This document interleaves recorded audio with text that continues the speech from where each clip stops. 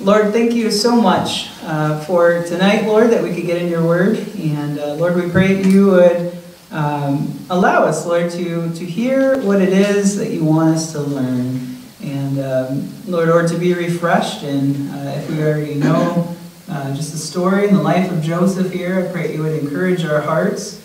Uh, Lord, if there's anything that applies in our own lives, that you would speak to us, Lord, and uh, give us the heart like Joseph, Lord, to bring uh, that restoration and uh, or uh, to love our enemies, Lord, uh, whatever it might be. I pray you would just you would be our encouragement, Lord. And uh, Lord, we love you in Jesus' name, Amen. Amen. So. Um, if you guys remember, we're going through Genesis and we're talking about the life of Joseph. Joseph uh, became second in command over Egypt, only to Pharaoh. You guys remember there was seven good years and a prospering, right? They, they 20% tax on everybody. Uh, life was going good. And then seven years of famine that came afterward.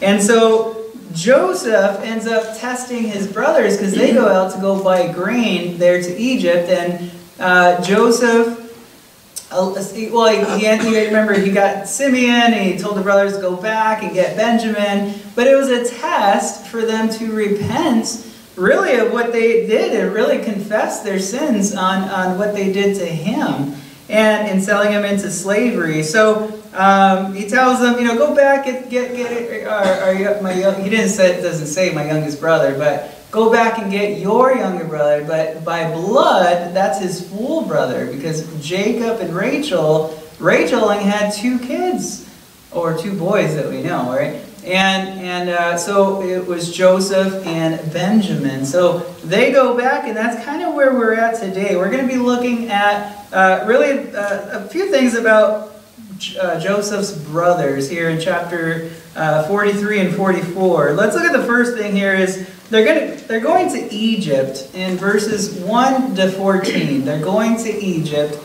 Uh, and Jacob commands his sons to, you know, to go get more grain. So that's where we pick up here in verse 1. It says, Now the famine was severe in the land, and it came to pass when they had eaten up the grain which they had brought from Egypt, that their father said to them, Go back, buy us a little food.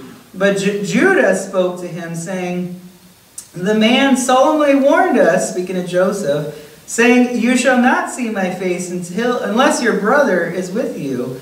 If you send our brother with us, we will go down and buy you food. But if you will not send him, we will not go down, for the man said to us, You shall not see my face unless your brother is with you. And Israel said, Why did you deal so wrongfully with me as to tell the man whether you had still another brother? But they said, The man asked us point, pointedly about ourselves and our family, saying, Is your father still alive? Have you another brother? And we told him according to these words. Could we possibly have known that he would say, Bring your brother down? Then Judah said to Israel, Jacob his father, Send the lad with me, and we will arise and go, that we may live and not die, both we and you and also our little ones. I myself will be surety for him.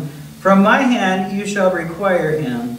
If I do not bring him back to you and set him before you, then let me bear the blame forever. For if we had not lingered, surely by now we would have returned the second time.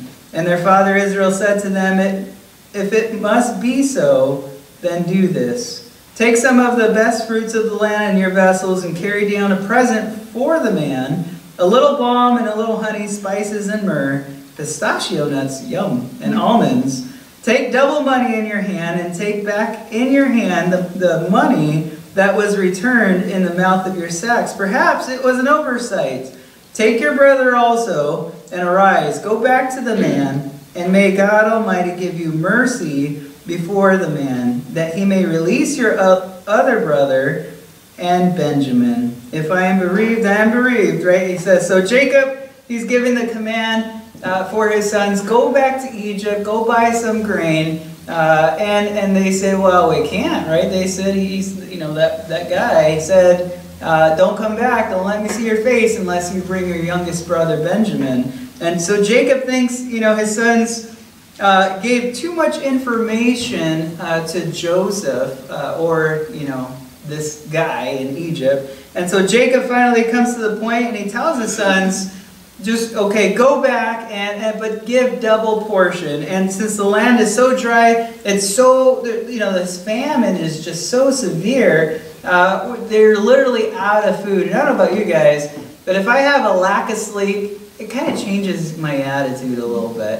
If I am hungry, like, right? Uh, it, it really changes, it kind of changes your decision makings a little bit. And so I could, I could imagine, you know, food getting a little scarce, you're looking around, you're like, you know, and then that hopelessness kind of sets in a little bit. Uh, and there's only one option go to Egypt, right? And I could see the Lord really using this opportunity to make things happen, to get them to go to Egypt. But it's interesting that Jacob, uh, you know, deceiver, conniver, this is Jacob of all people, right? His name was changed obviously to Israel, but did you guys notice that he's not coming up with any schemes right here? He's always coming up with some, okay, here's what we're going to do. You're to go, and then all of a sudden they open it, oh, and you know, some kind of something's to happen. This is Jacob, and none of that stuff is happening here, but here he's not making any of that. In fact, in verse 14, notice he turns to God Almighty, and he finally turns to the Lord for help. And after, you know, really nowhere else to turn. And it's always a good thing to turn to God first. I, I think before we use up all of our resources, before we go to all of our friends, uh, I think it's wise to turn to the Lord first and foremost. Think about it. He's God Almighty, El Shaddai. He's the, the, the King of the universe, if you really think about it. This is God we're talking about. Uh, I mean, you run to Him. Talk about who has unlimited resources, right? It's the Lord. And yet we run to each other, or yet we run to so and so, or to, to something. And but we, when do we turn to the Lord? For a lot of people, it's the last resort, right? It's like when everything you know is falling apart, then it's like, oh Lord. And finally, you get that quiet time with the Lord. But this time, it's because of the circumstance, right? And and it's really sad. But Jacob finally turns to the Lord, and and uh, you know, I, I question my own heart, and all of us should. Is do we really believe that the Lord God is God Almighty? I mean, do we really believe that? Uh, you know, and if we do, we're going to have that rest. We're going to have that peace. We're going to have that assurance. We're going to have that confidence that only comes from the Lord. And think about it God is so much bigger than any circumstance that comes our way. He's greater than anything and anyone. You know, did you, you know, the more you consider that, it's like, how come I didn't come to you sooner? like, wow, right? I think all of us uh, if we look back at our lives when we first met the Lord, it's like, oh, we all hit our forehead like, oh, I should have came to the Lord a lot sooner than that. I should have came when I was in elementary school. What's wrong with me? it's because we see the blessings and the assurance and the confidence and the, you know, it's the love, right? God is love. And, and so it's, it's a beautiful thing. But let's go to the second thing here is their, speaking of the brothers, their arrival in Egypt. Uh, in verses 15 to 25, uh, we see that the brothers finally arrive to Egypt, and, and their, their hearts is really to buy grain. And so let's see what happens. It says, So the men took that present and Benjamin, and they took double money in their hand, and arose and went down to Egypt. And they stood before Joseph. When Joseph saw Benjamin with them, he said to the steward of the house, of his house, Take these men to my home and slaughter an animal and make ready. Wow, they're going to have fresh barbecue. Isn't that great? Hmm. I'm so used to like store-bought meat that's like from, you know, how long ago. This is great. For these men will dine with me at noon. Then the men did as Joseph ordered, and the man brought the men into Joseph's house. Now the men were afraid because they were brought into Joseph's house, and they said, It's because of the money which was returned in our sacks for the first time that we brought in, and so that he may make a case against us and seize us to take us as slaves. with our donkeys. I don't know about you guys. What? Why would they even mention that? With our donkeys. Oh no. Wow. Why mention their donkeys? They must have really loved their donkeys. Seriously. I read that and I was like, why? Why would you? I mean, I would have stopped right. It would cease us to be slaves. Period. With our donkeys. Oh no. Anyway, sorry. Um, when they drew near to the stewards, uh, the steward of Joseph's house, they talked with him at the door of the house and said, Oh, sir, we indeed came down the first time to buy food, but it happened when we came to the encampment that we opened our sacks, and there each man's money was in the mouth of his sack, and our money in full weight. And so we have brought it back in our hand, and we have brought down the other money in our hands to buy food. We do not know who put our money in our sacks, but he said, Peace be with you. Do not be afraid. Your God and the God of your father has given you treasure in your sacks. I had your money Wow, isn't that cool? Then he brought Simeon out to them. And so the man brought the men into Joseph's house and gave them water and washed their feet and gave their donkeys feed. Then they made the present ready for Joseph's coming at noon, for they heard that they would eat bread there. Wow, let's slow down really quick. So Joseph's brothers, they arrive in Egypt. When they get there, they're invited immediately into Joseph's house. And, you know, immediately they're feeling guilty because they're like, why are we here? Oh, no, he's going to, you know, we're going to be slaves all of our lives. But according to verse 18, the Bible says that they were afraid. They were fearful. And, and they got their eyes uh, off the circumstance, if you will, or really off of the Lord and on the circumstance, onto themselves. And they became terrified. What, did you guys realize? In the mind, that's where it all started, right? Uh, it was by their thoughts that they became terrified. They terrified themselves by what they thought. Isn't that interesting? How many of us do that today? We could be watching something and you're like, Blah! right? My, my kids and I, we, uh, we lost our TV remote for like a whole week. We couldn't find it. we finally found it, and it, you know, it was, in, it was under the chair of all things, right in front of it. Anyways, we turned it on, and I were watching this. It's just a movie trailer, an old movie back in the day, but um, and and all of us were like, you know, I looked at my my kids and their eyes were like, whoa! It was about uh, uh you know, there's comets coming down, and Ezra's like, oh, is that really happening right now? And I no, it's not. It's a it's a. How do you explain that to a three year old, right? So let's just turn this off. We don't need that. But it's amazing that we could do that. How many times do we do that to her? We see stuff going on. It may be fake and not even real, but our hearts are already there as if it is real. Our hearts are already like, ah, right? Uh, and it's, it's not fun. But we need to see things according to the Word of God. We need to trust in the Lord.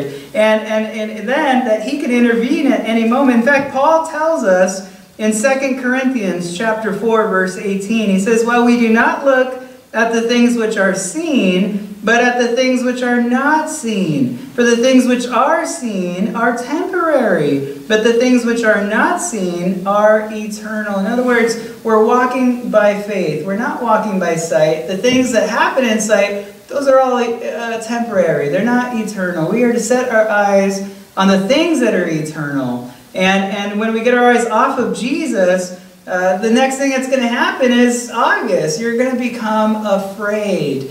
Uh, because when your eyes are on the Lord, you're going to be confident, right? We're going to be more than conquerors, right? Because of Jesus. And, and we know that. But once it's it's the opposite when our eyes are off of Christ. So obviously there's no reason for them to be afraid because look at verse 23. I thought this was encouraging. Uh, you know, the man of the, the, the, house that Joseph said to go get them, and he's, he's, he's talking to the brothers. He says to them, Peace be with you. Do not be afraid. And, and that all that worrying, all those sleepless nights, all those nail biting, right, and that hair pulling, and right, it was all for nothing. In fact, in 2 Timothy chapter 1, verse 7, Paul says, For God has not given us a spirit of fear, but of power and of love and of a sound mind. Isn't that interesting? 1 John chapter 4, verse 18, It says, There is no fear in love, but perfect love casts out fear. Because fear involves torment, but he who fears has not been made perfect in love. We need to be careful um, to realize that we're not to be fearful. Uh, and, and we have been given a spirit of power, of love, of a sound mind. And, and perfect love cast out all fear. That's what it just said. And in fact, in 1 John chapter 4, verse 7, it says, Beloved, let us love one another. That's the opposite of what fear is. For love is of God. And everyone who loves is born of God and knows God. He who does not love does not know God, for God is love. So if you are not a believer, of course you're going to be terrified, right? And that fearfulness is going to creep in. But as a believer, we ought to continue when, when something comes around us, and it will, right? The sights are going to be interesting, but when they come around, uh, we got to keep our focus on who we are. We're citizens of heaven. We're not of this world, right? We, we are called out of this world, and our minds ought to be on the Lord. I know it's, you know, we're the church, but this is a, an encouragement to all of us because uh, we're living in the end times. Um, in fact, uh, consider God Almighty is with us, right, as the church. In John chapter 14, verse 27, Jesus says, Peace I leave with you. My peace I give to you. Not as the world gives do I give to you. But here's the command to us as believers, as the church. Let not your heart be troubled, neither let it be afraid. In other words, be in complete control of your heart. Be in complete control of your mind. And, and set it on Jesus. Set your focus on the Lord. Walk by faith, right? Not by sight. In fact, Ephesians 2.14 says, For he, Jesus himself, is our peace. Isn't that wonderful? So Jesus has become our everything, literally, as a believer. All sufficient, right? He is all sufficient for our every need. You got something? He's, he's it. Right? You can run to him. And it's wonderful. Well, let's keep going with our study here. And the third thing that we learn about the brothers here is they're uh, rejoicing in Egypt. Notice in verses 26 to 34, uh, it says in verse 26, And when Joseph came home, they brought him the present, which was in their hand, into the house. And but notice this, I underlined this in my Bible. It says, and bow down before him to the earth. Whoa! This is the ultimate fulfillment. If you guys remember Joseph's dream, uh, really the, what was prophesied in Genesis chapter 37, verse 7. You guys remember when Joseph had the dream of the sheep, you know, standing upright, the big sheaf, and then uh, there's the 11 other sheaves that bow down, speaking of his brothers. In other words, in totality, all his brothers. So who's here right now? Benjamin was a part of that dream, and, and he's bowing down. And so this literally completes ultimately that fulfillment of the dream. They're all bowing down. Look at verse 27. Then he asked them about their well being and said, Is your father well? The old man of whom you spoke, is he still alive? Uh, look at verse 28. And they answered, Your servant, our father, is in good health. He is still alive. And they bowed their, their heads down and prostrated themselves. Then he lifted his eyes and he saw his brother Benjamin, his mother's son, and said, Is this your younger brother of whom you spoke to me? And he said, God be gracious to you my son, my son. Interesting. He would say, my son. Joseph finally sees his blood brother. Remember, through Jacob and Rachel, right? Uh, this is his full brother. And Joseph had been in Egypt for, I don't know, what, 21 years? And, and so uh, Benjamin, you know, being, you know, definitely 20, 21, however old he is, and, you know, he's a, a man now, right? And Joseph's looking at him like, whoa, he's never seen him before. So uh, it's basically, um, it's pretty cool. Look at verse 30. It says, Now his heart yearned for his brother. So Joseph made haste and sought somewhere to weep. He loved his brother so much. It brought tears to his, his heart. And he, he went into his chamber and he wept there. And then he washed his face and came out, and he restrained himself and said, Serve the bread. And so they set him a place by himself, and then uh, and them by themselves, and the Egyptians who ate with uh, them by themselves, because the Egyptians, well, they couldn't eat food with the Hebrews. Oh no, that would be an abomination to the Egyptians, right? Same thing, right? Racism and all that, that, the separation. It's been from back then, guys. I mean, there's nothing new under the sun, right? Like Ecclesiastes says. Same thing's happening there. Uh, and it says, And they sat before him, the firstborn according to his birthright, and the youngest according to his youth. And the men looked in astonishment at one another. Then he took servings uh, to them from before him. But Benjamin's serving was five times as much as any of theirs. And so they drank and were merry with him. What's interesting is in verse 34, here is Joseph, second in command, in charge, basically over all of Egypt, in a sense, over the world, because there's this huge worldwide famine. And he recognizes these Hebrew men, these brothers, brings them into his home, and he prepares a meal for them. Uh, but notice in verse 34, Joseph, I, I, mean, think about it. Second in command. I mean, think about his title, think about his position. But it, notice it says he's serving them. He is serving these shepherd guys, right? These Hebrews, these they stink. they, they, they came in, they're coming into his own house. And but he's serving them, and, and, and it's the same thing I'm reminded. Jesus said for us to pray for our enemies because these guys were basically, I mean, they, they betrayed him. They sold him into slavery, human trafficking. They didn't care. They basically wanted him dead. And how does he return them? Uh, by serving them, by loving them. Jesus said, love, love your enemies, right? Um, in, fact, Christ said in uh, Matthew chapter 20, verse 28, just as the Son of Man did not come to be served, but to serve and to give his life a ransom for many. So Jesus set that example for all of us uh, and how we should serve one another. And the world says, you know, you should be served because you deserve it, right? That's what the world teaches us. But when you became a believer, you realize, oh, wait a minute, no, uh, I'm not here to get served. I'm here to serve, to give. And, and I think you guys are a, a, mature group. This this fellowship that the Lord has kind of brought together. You guys all kind of just came alongside with all your gifts. Everybody used their gifts. They all we serve one another, right? Nobody's coming in here demanding, "Hey, you go give me the, Hey, you go get this. Hey, you go get somebody wash my feet already," right? None of us have that attitude, but believe it or not, there's a lot of people that have that attitude. Um, but it's, it's, it's awesome. It's pretty neat how the Lord uh, is doing that. But um, we're to be a follower of Christ, right, and not of others. And, and we're to be helping others uh, and caring for their needs. So let's come to the fourth thing. There's only five things here. Is let's look at the brothers and their, their testing in Egypt. The testing continues. Look at chapter 44, verse 1. It says, And he commanded the steward of his house, saying, Fill the men's sacks with food as much as they can carry, and put each man's money in the mouth of his sack. Also put my cup, the silver cup, in the mouth of the sack of the youngest, in his grain uh, money.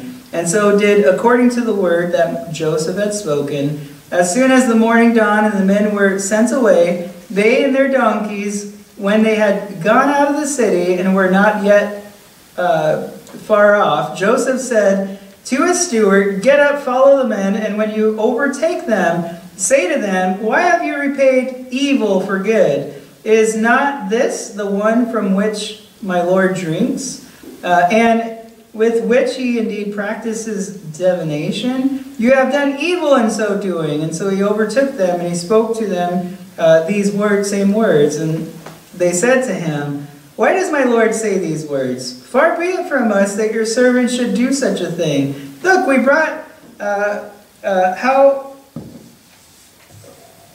look, we brought back to you, sorry, uh, from the land of Canaan the money which we found in the mouth of our sacks. How then could we steal silver or gold from your Lord's house?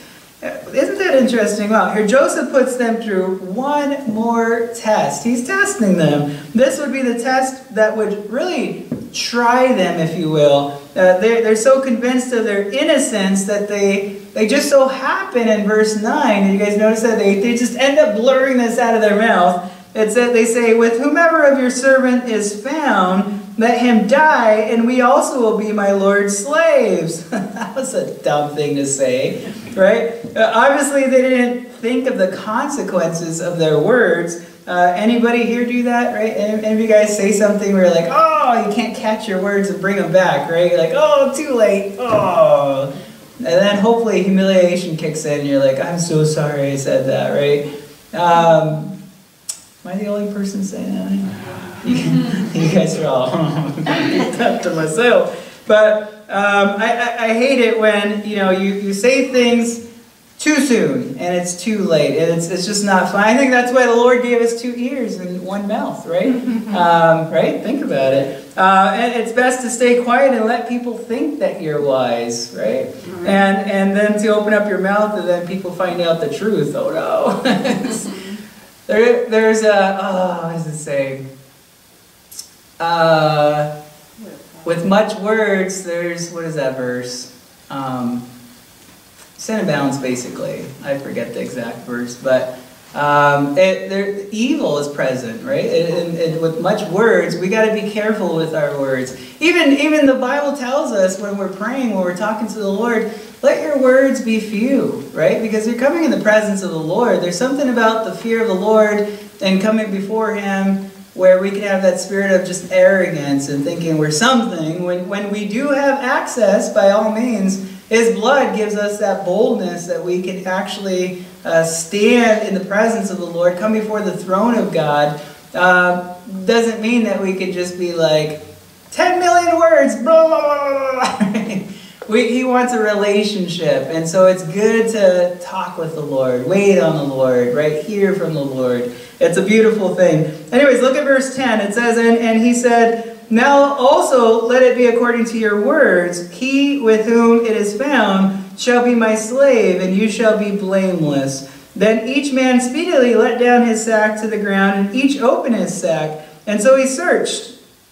He began with the oldest and left off with the youngest. And the cup was found in Benjamin's sack. Then they tore their clothes, and each man loaded his donkey and returned to the city. And so Judah and his brothers came to Joseph's house, and he was still there. And they fell before him on the ground. Notice they did all this in their own initiative. It sounds like they only arrested Benjamin, if you will, because he was the only one who had that. Uh, but it sounded like they took the initiative to load everything back up and head back. Uh, and Joseph said to them, What deed is this you have done? Did you not know that such a man as I can certainly practice divination? In other words, Joseph says, You know, I, I can interpret dreams, didn't you guys, you know? Um, verse 16 Then Judah said, What shall we say to my Lord? What shall we speak? Or how shall we clear ourselves? God has found out the iniquity of your servants. Here we are, my Lord's slaves, both we and he also with whom the cup was found. Wow. Finally, after 21 years, they finally get it. They finally confess and acknowledge, really, their sin. Uh, but the truth, they, they can't hide it anymore. Isn't that interesting? God sees all, He knows all. We can't hide anything from the Lord. Here, finally, we see uh, humiliation, if you will, out of the brothers, right? They finally come and they're, they're honest, they're truthful. They, they, they finally expose uh, their hearts, you can say. You know, in Proverbs 15, verse 3, it says, The eyes of the Lord are in every place, keeping watch on the evil and the good. In fact, in Hebrews chapter 4, verse 13, it says, And there is no creature hidden from his sight, but all things are naked and open to the eyes of him to whom we must give accounts. So they finally come clean. And, and uh, you know, look at verse 17. It says, But he said, Far be it from me that I should do so. The man in whose hand the cup was found, he shall be my slave. And as for you, Joseph says, go up in peace to your father.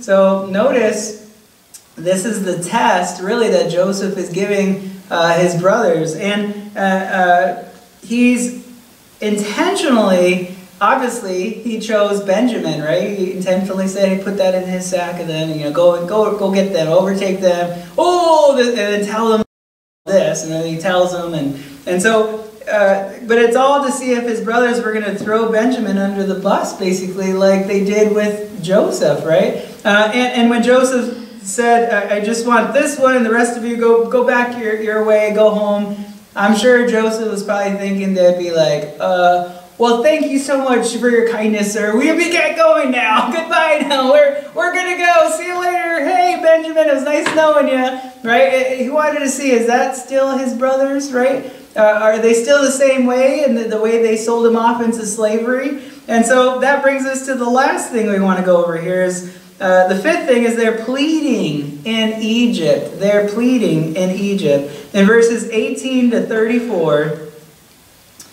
it says, Then Judah came near to him and said, Oh, my Lord, please let your servant speak a word in my Lord's hearing, and do not let your anger burn against your servants.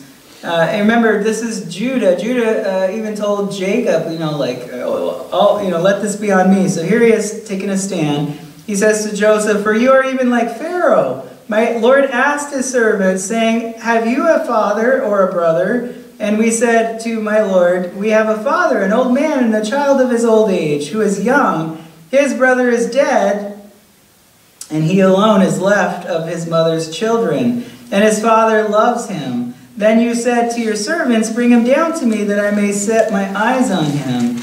And we said to my Lord, The lad cannot leave his father, for if he should leave his father, his father would die.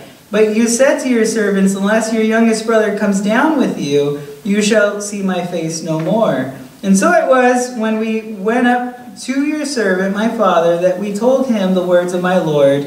And our father said, Go back and buy us a little food. But we said, We cannot go down if our youngest brother is with us. And then we will go down. For we may not see the man's face unless our youngest brother is with us. Then your servant, my father, said to us, speaking of Jacob, Israel, You know that my wife bore me two sons, and the one went out from me. And I said, Surely he is torn into pieces, and I have not seen him since. But if you take this one also from me, and calamity, calamity befalls him, you shall bring down my gray hair with sorrow to the grave. Isn't that interesting? He had gray hair, didn't have white hair, so interesting. Um, now, therefore, when I come to your servant, my father, and the lad is with us, since his life is bound up in the lad's life, it will happen when he sees that the lad is not with us, that we he will die. And so your servants will go down, uh, bring down the, the gray hair of your servant, our father, with sorrow to the grave. For your servant became surety for the lad to my father, saying, If I do not bring him back to you, then I shall bear the blame before my father forever, Judah says. So now, therefore, please let your servant remain instead of the lad as a slave to my Lord. In other words, let me take his place, right? And let the lad go up with his brothers. For how shall I go to my father if the lad is not with me? Lest perhaps I see the evil that would come upon my father. So the brothers finally standing up and taking responsibility for themselves here. In other words, they're passing the test uh, that Joseph is setting before them. And they pass this test, but then uh, next week we're going to see that Joseph finally read the great reveal, right? We're going to see that next week, uh, Lord willing. But the, the blessings, I notice, come after humility. It wasn't until they humbled themselves that the blessings came. Isn't that interesting? And, and I think it's interesting how God, He tests us today, but the reason being to grow us, to mature us, right? And, and to cause us not to rely upon our own resources, but His, right? His grace, to, to, to fall back and ask for His, His mercy and His grace in our lives. Uh, I'm going to leave you guys with this last verse, Proverbs chapter 3, verse 5. It says, Trust in the Lord with all your heart, and lean not on your own understanding. In all your ways acknowledge him, and he shall direct your paths. Amen? Let's go to pray, guys. Lord, thank you so much uh, for the time that we have together. And um, Lord, what a, an encouragement, Lord, to see your heart through Joseph's life, Lord, uh, to see how you test us, Lord, to see uh, when we humble ourselves, Lord, uh, that finally, Lord, we, we can find that rest, we can find that peace when we finally give up. I pray, Lord, if there's anybody here who is struggling, who's fighting, Lord, uh, that they would just give up and that they would give in to your grace, Lord, and allow you, by your Spirit, Lord, to come in and just transform and change up everything in their lives. I pray for those that, that need that rest, Lord, that you would show yourself to them, Lord. Uh, those who are searching uh, the scripture, that their hearts would be fulfilled, that they would be satisfied, that you would be their desire, Lord, that you would be their light uh, that they follow for the rest of their lives. Lord, be with us, Lord. Continue to show us uh, and teach us, Lord, your words, that we might be wise servants, Lord, that we might be those uh, who bring are just are pleasing in your sight. We love you, Father. We thank you for, for all the things that you're doing in our lives, Lord, even those things we don't understand. Uh, but whatever it is that's uh, happening in our lives right now, give us the, the faith, Lord, really to, to keep our eyes focused in on you uh, and get our eyes off of whatever it is uh, that's causing our hearts grief, Lord. Um, we love you, Father, and we pray this in Jesus' name. Amen. Amen. I love you guys.